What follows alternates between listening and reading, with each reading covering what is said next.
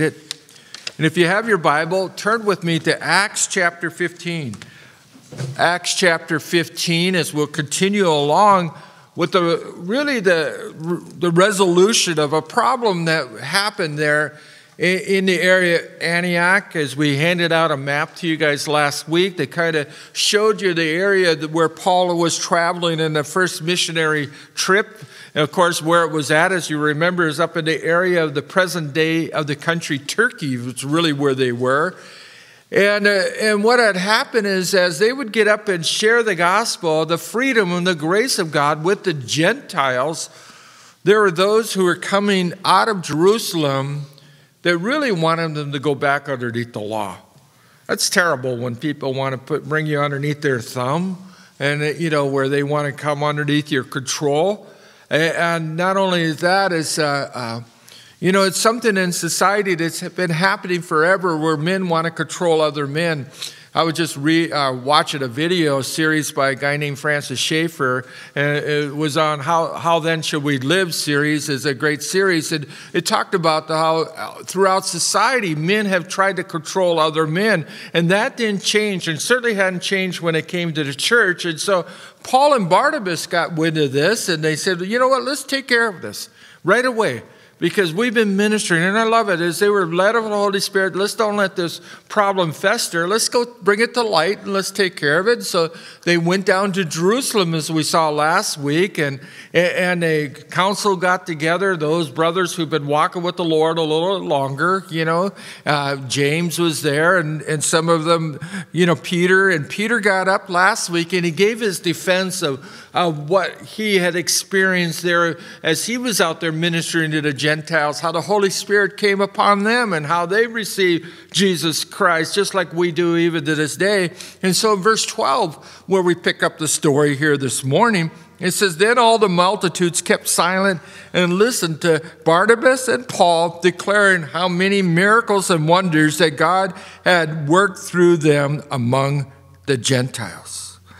So, as they're disputing still, or always presenting their case is probably a better way to look at it, they gave Paul and Barnabas an opportunity to share, to tell their story. I wish we had the full account. Wouldn't have been marvelous to hear their, through their eyes all the great things that God had done through them. But it tells us in verse 13, he says, after they had after they had become silent, we don't know if they talked for five hours, 10 days, or what. You know, they had a period of time where Paul and Barnabas was sharing what was going on. James answered, saying, Men and brethren, listen to me. And this is certainly the same James that we're studying on Thursday night, the book of James. Uh, we know James as being the, half brother of Jesus. And I love this about James, as, as we mentioned on a Thursday night when we started the book of, of James, how James called himself a bondservant of the Lord. He isn't coming there thinking that, hey, I'm James, the brother of Jesus. You guys had better listen to me. You know, sometimes people want to roll in and say, hey, I have a lot of clout. I'm a, I'm a big boy, and you better listen to me. And, but rather, James, uh, everything that we see about him, he was really a godly servant and a humble man. Any great man or woman that you'll see that has a true encounter with God is somebody who's void of self interest, is somebody that's concerned about pleasing God and to do the things that are right before the Lord. And it tells us, and Simon has declared, as he tells us, verse 14. I think it's interesting. He doesn't call him Peter here. He probably knew him from earlier in his life as Simon.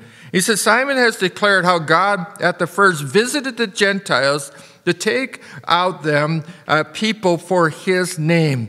And with the words of the prophets agreed, just as it's written. What's he saying here is the work of God is calling the Gentiles to be part of his kingdom.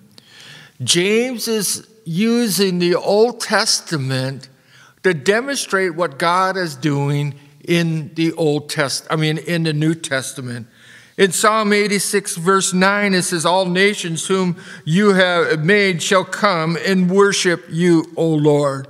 In Isaiah 11:10 he says, "And in that day there shall be a root of Jesse who should stand as a banner to the people, for the Gentiles shall seek him, and he rested uh, rested place shall be glorious." And Isaiah 42, 6, and I, the Lord, have called you righteous and will hold your hand, and I will keep you and give you a covenant to a people as a light to the Gentiles. And we could go on and on and on and show in the Old Testament how God's eyes were always towards the Gentiles.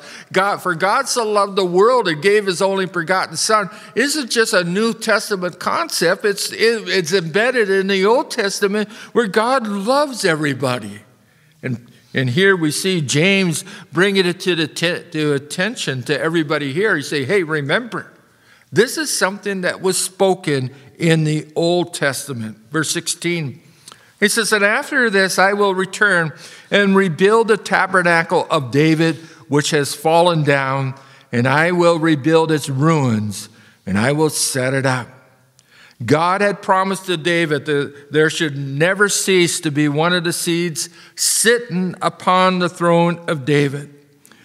David's interpretation of the promise of God to mean that the Messiah would come to be a descendant of David.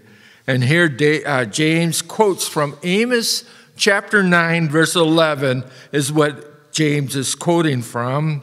This prophecy was fulfilled in Jesus that he will come and declare, uh, set up the God, godly's kingdom. And J- James is declaring that this is what's happening. God is not yet what done, as he said. God's not done with the nation of Israel. I believe that. I believe that even what we're seeing in prophecy coming to light today is amazing. It, you guys ever amazed at how much Israel's in the news? How much is going on? I've been there. A lot of us have been there.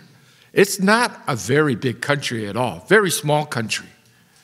But yet, God's eyes are upon that nation, and we're going to see once again, I will ruin, uh, rebuild its ruin and I will set it up. I believe this is direct prophecy back in 1948 when we once again started seeing the, the gathering of the nation of Israel.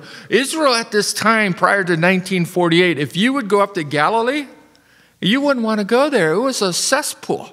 Mosquitoes were every place. Nobody wanted to be there. It's been in ruins forever. But now you go there, oh my goodness. They, they like to call Israel the breadbasket of the world because up there in the Hula Valley is kind of like our San Joaquin Valley here in California. They're able to grow crops after crops after crops, and, and, and they really supply a lot of the fruits and vegetables that feeds Europe comes right out of that one that place as we see right here where James is saying, I will rebuild its ruin and I will set it back up. That's happening right before our eyes. In verse 17, so that the rest of mankind may, may, mankind may seek the Lord.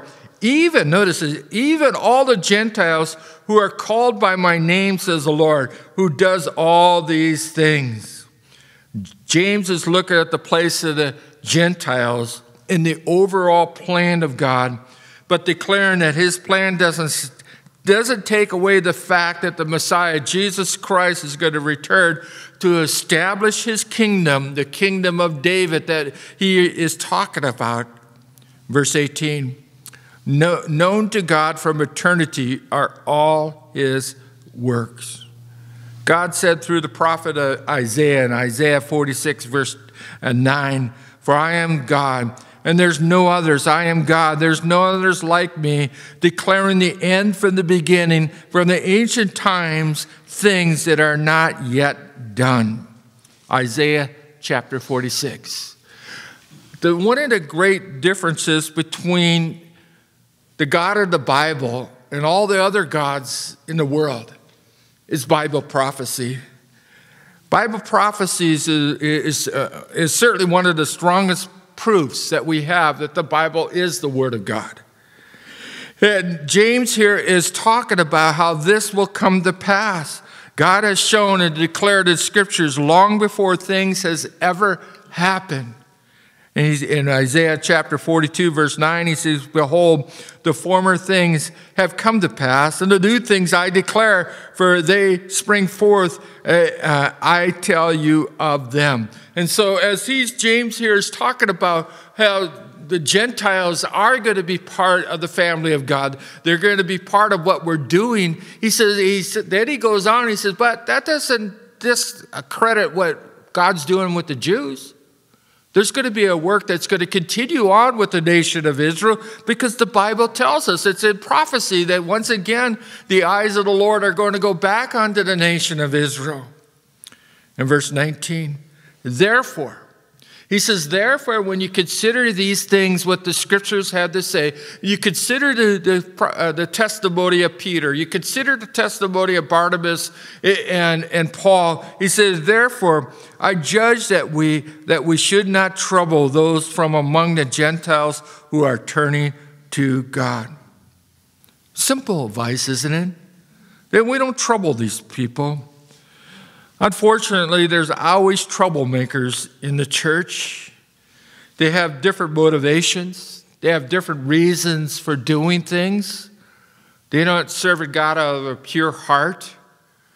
Right now, there's new troublemakers that are brewing in Southern California and around California. There's one up in the San Bernardino. I forget the name of the movement. It was right there a minute ago, but it slipped out of my brain. But But they're out there. They're, they're, they're bringing back again. They're getting a big following, the name it and claim it guys and the Pentecostals hyperness that you've seen, uh, even all the way back for what happened in, uh, um, up in the Toronto Blessings and everything else that they had years ago. It seems, I remember Pastor Chuck used to tell me, he says, you know, there's nothing new about that stuff.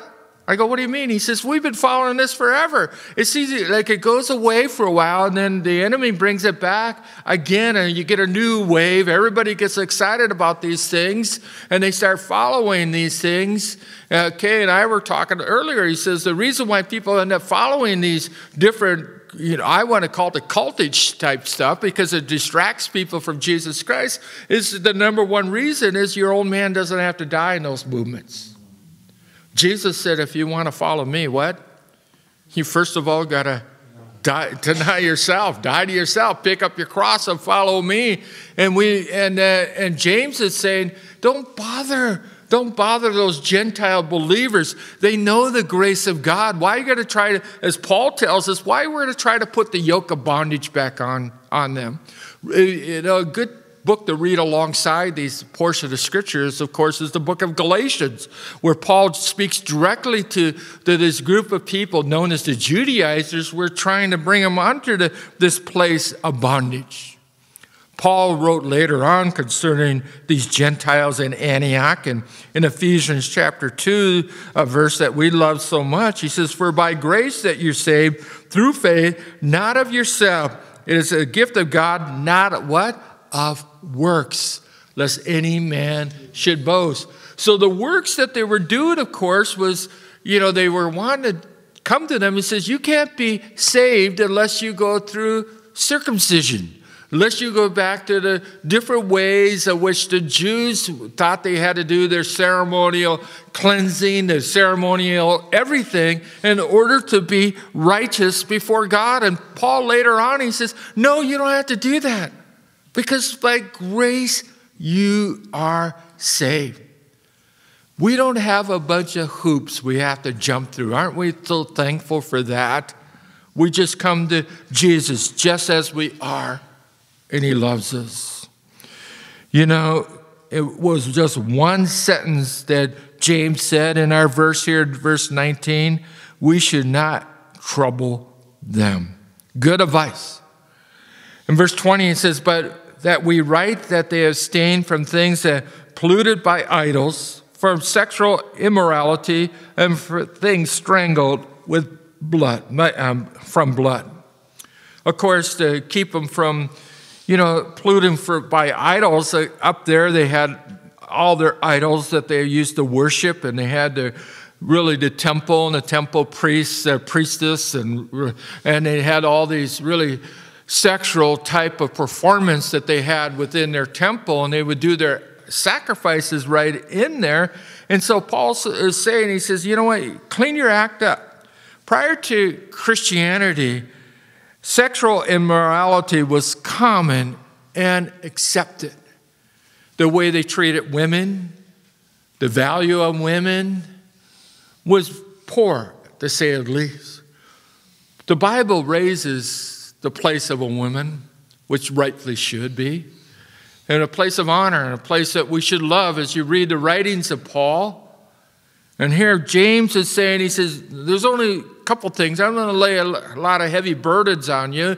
He says, stay away from the things that are polluted by the idols, the things that they've been using to worship with, so you don't get drawn back into it that you don't you know get sucked into the fascination. And believe me all these this temple who was behind it this temple worship was who? Was satan.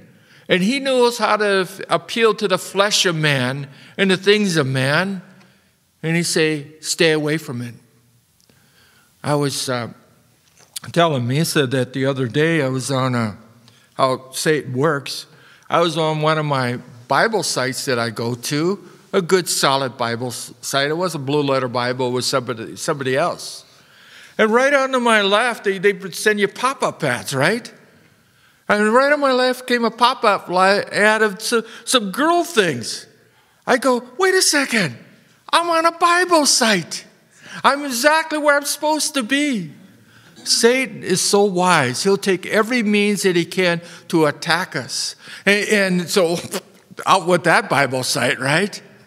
And so that's what James is saying. He says, Us men and women, and I speak to the men here, to stay away from the, the things that will pollute, that are polluted by idols for sexual immorality. And I'm glad he said that. Because God has set up a standard by which we should live our lives, not only as a man, as a woman. Eh, and sex belongs between a husband and wife. It's beautiful, it's holy, it's right. He says it's immoral, things that are wrong.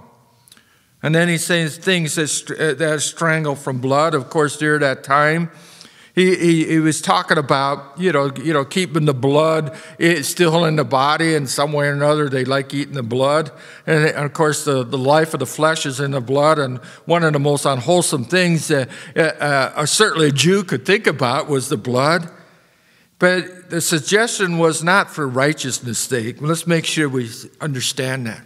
Some people will say, well, I won't do this because of righteousness' sake, and it's not kosher. You know, they almost come with this idea that they're doing something to make them righteous. Paul speaks on this in 1 Corinthians chapter 10, verse 25 as he writes to the Gentiles church on the same issue, issue he says, Eat whatever is sold, sold in the meat market, asking no questions for conscience sake, for the earth is the Lord and its fullness. If any of those things we, who do not believe invite you to dinner, they, you know, he's given this a situation that they invite you over for, for dinner and you desire to go, eat whatever set before you, asking no question for conscience sake. Let's say they give you a stew and it has some carrots in the stew. It has some corn, you know, you know, potatoes in there, and you see that there's meat inside of it. He says, Don't ask where that meat came from.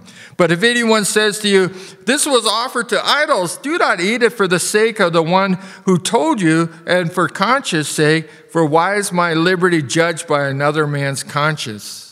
Wow, that's pretty powerful, isn't it, what he's saying there? But if I partake with thanks, why am I evil spoken of my food, which I give thanks? Therefore, whatever you eat or drink, or whatever you do, do what? All to the glory of God. He says we have this great freedom in Christ.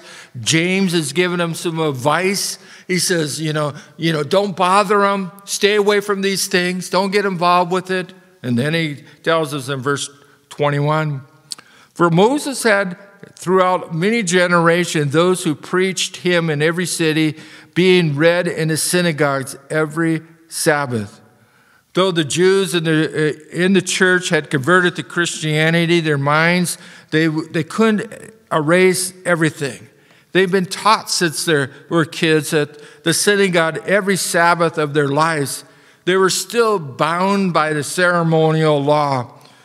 We see this even today in a lot of messianic fellowship where they try to keep the, the Jewish tradition. They'll try to keep kosher per se, and, and they keep the rabbinical law and lighting the candles on the Sabbath day. They, they believe they just place themselves under, within the law that they're special people. You know, God bless them. They are special because Jesus loves them and that Jesus died for them also. We're all one in Christ, what, what James is trying to remind us here in verse 22. Then it pleased the apostles and the elders with the whole, the whole church to send chosen men in their company to Antioch and, and Paul and Barnabas namely, and Judas, whose also name was Barsabbas, and Silas, leading men among the brethren. So wisely, these guys were, were sending somebody else to go along with James and Barnabas. Because when they got up there, they couldn't say, well, James and Barnabas forged this letter, or they did something wrong with it they sent these other dear brothers with them to go on up there and to share the word of God with them. When divisions come within the church, where people have disagreements, I think it's so important as we see here is that we gather together to pray. We ask for the mind of the Spirit. That means we humble ourselves saying, rather my opinion, I think this is right. We wait for God and we ask for the mind of the Spirit. As he was, we're seeing how the Spirit is directing all this, the Holy Spirit's actively involved with the early church. The Holy Spirit should be actively involved with our church today and with the Agape Chapel, leading and guiding us each and every day.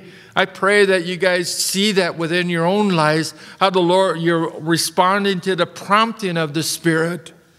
Paul ultimately said in Romans chapter 14, verse 17, the kingdom of God isn't eating and drinking. That, that's, that's not the real kingdom of God, but righteousness, peace, and joy in the Holy Spirit.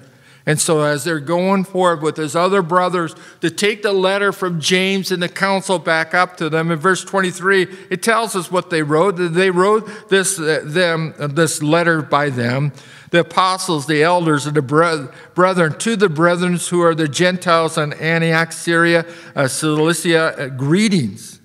Notice the fruit, the fruit, really the proof that the walls are being broken down from Jerusalem all the way up to to Turkey. Do you see that amazing words, what they said to the, to the fellowship up there? He said, brethren.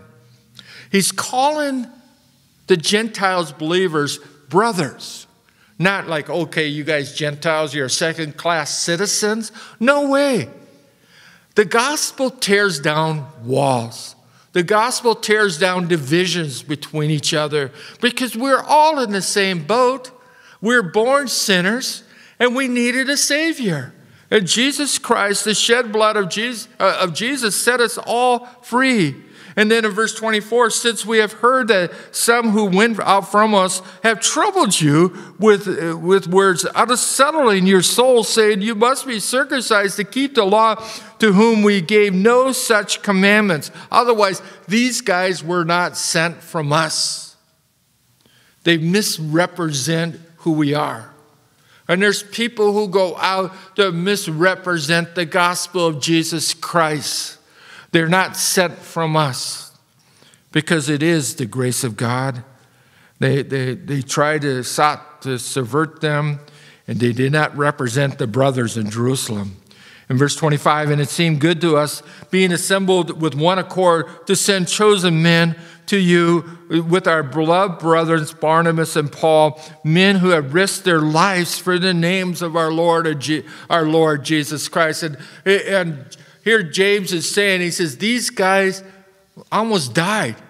They could have died as out there missionary. These are the real McCoys, and they're really kind of given uh, to the people up there in the area of Turkey. Say Paul and Barnabas are good guys, and we have therefore sent Judas and Silas, who, uh, who will also report the same thing by the, by the word of our mouth. Otherwise, they're going to confirm these things. For it seemed, verse 28, it seemed good to the Holy Spirit and to us to lay, hand, lay upon you no greater burden than these necessary things. It really does tell us how they recognize the place of the Holy Spirit in their decision maker making. It seemed good to the Holy Spirit. Acknowledging the Holy Spirit as God is part of the triunity uh, of who we worship. When we say God, that I hope all of us understand it's God the Father, God the Son, and God the Holy Spirit, not God the, Holy, the itty bitty Holy Spirit. He's as much as God as God the Father, God the Son is. And he's actively involved with the church here as, he's, as they recognize, first of all, the importance of the Holy Spirit in leading their decision. And then it says, secondly, it seemed good to us. Do you see that? Their knowledge of the wisdom of the Lord, it seemed good to us, even though at times we might have a difference of our opinion in our mind. When the Holy Spirit speaks the truth, it's like everybody goes, Oh, that's right. Is there's a calmness about it. In Thursday night, this coming night, I'll give you a little sneak peek of Thursday night's message. We're to be talking about there, James 1 he says, If any man lacks wisdom, what are we supposed to do? We're supposed to ask God, and God's going to do it. He's going to give it to us liberally to everybody who asks. And that council was asking for the leading of God, for the wisdom of God. And so then you might ask me, he says, How do you know if it's God's wisdom or just me? You ever been there? Well, James tells us later on. How do we determine? He says, For the wisdom from above is what? First, pure, peaceable, and then it's easy to entreat. Otherwise, it makes sense. It, it just kind of, and I think at that point, the, the council, when they got this word, they heard James say these things, everybody says, Yeah, that makes sense. Does that make sense to you, John? Ray, does that make sense? And you just go around and you go, Yeah, that's the Lord. And so they saw that and they recognized it.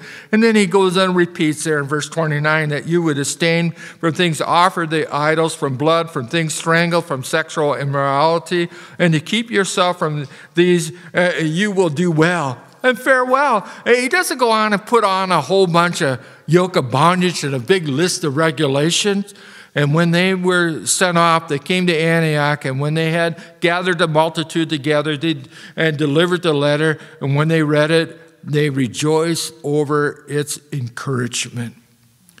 The Holy Spirit, when the Lord is working, it brings joy. It brings, you know, that, that sense that God's in control. In Isaiah 49, verse 13, we'll finish with this and we'll pick it up next week, the rest of 15. It says, But God loves to comfort his people. And Isaiah wrote, Sing, O heaven, be joyful, O earth, and break out and sing in, O mountains, for the Lord has comforted his people and will have mercy on his afflicted. If you were there at the church there in Antioch, when Paul and Barnabas was down there in Jerusalem, and having these people there in your fellowship that were trying to tell you, says, you're not really saved unless you do this and this and this. I can imagine it was troubling in their church. And when Paul and Silas returned with these men and they read this letter to them, I could picture that fellowship say, Praise the Lord. And there was great rejoicing because God knew what they needed. God knew that that fellowship was hurting, that God knew that they were confused, and the Lord brought comfort to them. And the net result, the hearts of the people will rejoice. And this day, I think that's what God would have us to do is rejoice in the grace that God would have us to walk in day in and day out. Why don't we pray and then Corey and Ray will come up and close this in a song. Father.